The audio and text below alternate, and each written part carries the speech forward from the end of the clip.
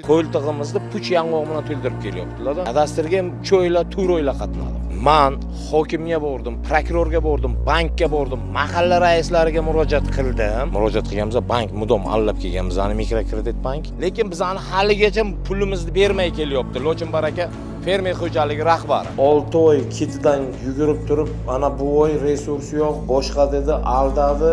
Bank xodimlari kelib qo'shnimning uyida turgan quylarni yoniga bizni rasm tushirib yigirma to'rt millionni olganman yigirma olti million pulni ololmaganman mani hech qanaqa qo'y bilan ta'minlamadi. Telefon qilsangiz toshkentgaman vodiygaman u yoqdaman bu yoqdaman ana shunaqa narsa bilan o'tib kelyapti. Bu kambag'allikdan chiqarish uchun imkoniyatmi yoki kambag'allikka qaytarib botqoqqa tiqish uchun sharoitmi? Hammasini qonuniy holatda murojaat qildim yo'l bermadilar. Oxiri yana shu yong'oqda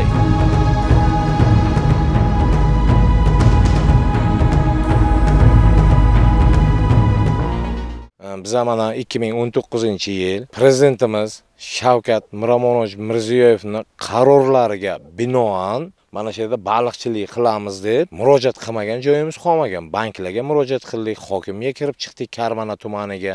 Zaxiradan yer bering dedik yo'l ochib bermaganlarda yordam qilinmagan. Bank tomonidan ham hokimiyat tomonidan ham. Man otam bilan hokim bog'iga kirdik karmana tuman fardin samadovichga kirdik. Otam bilan birga bizaga mana prezidentimizni har bitta oila tadbirkor qarorlari asosida baliqchilikda bir gektar yer so'radik hokim boboga kirdik otam bilan. Baliqchilik uchun mana yer ajratib bering bir gektar deb. Bo'ldi qilib beraman dedilar. Kadastr xodimlarini chaqirdilar. Qilib beringlar ajratib beringlar dedilar. Kadastrga ham uch oylar to'rt oylar qatnadim. O'rmon xo'jalik bakirovgacha borib keldim toshkent. Bo'ldi bu oyga qilib beramiz falon vaqt qilib beramiz. Shu mudom shunaqa yolg'on anavlar bo'lib kelyaptida bizaga.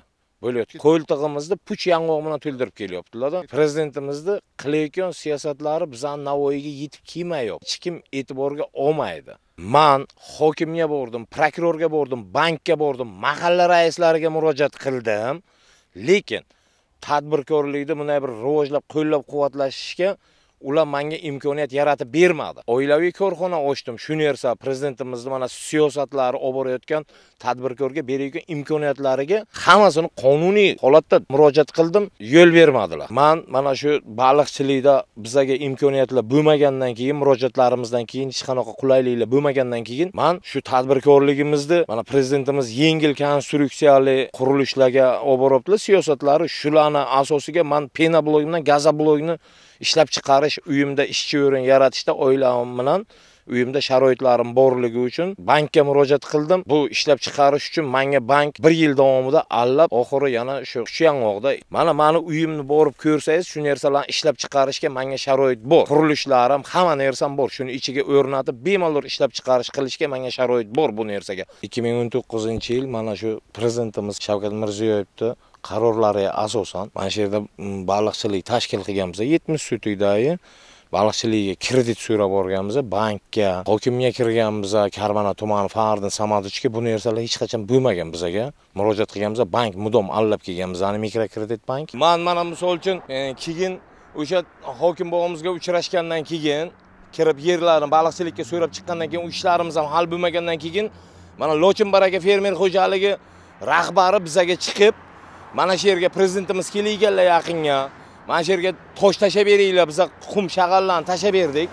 O'n bir moshin bu yerga tashlaganmiz o'n olti moshin mana molxonaga tashlaganmiz. Farin samadovichga qarashli molxonaga. Lekin bizani haligacha pulimizni bermay kelyapti. Lochin baraka fermer xo'jaligi rahbari yettita shofyor hammamiz biza isbot qilib berib bilamiz bu narsani. Assalomu alaykum hurmatli shavkat miromonovich. Man bu video murojaatimni yo'llashimdan maqsad navoiy viloyat karmana tuman mikrokredit bank rahbari javlon mardiyev va qo'l ostidagilari mani o'z faoliyatini suiiste'mol qilgan holatda tadbirkorlarni aldab o'z manfaati yo'liga navoiy viloyat karmana tuman mikrokredit bank xodimlari rahbari javlon mardiyev va xodimlari o'z faoliyatini suiiste'mol qilgan holatda tadbirkorlarni va tadbirkorlik bilan shug'ullanaman degan fuqarolarni yemagan somsaga pul to'lattirib o'z manfaatini suiiste'mol qilib kelyapti. Bularni ustidan tekshiruv o'tkazishingizni talab qilaman shavkat miromonovich. Man kredit olmoqchi bo'lganimda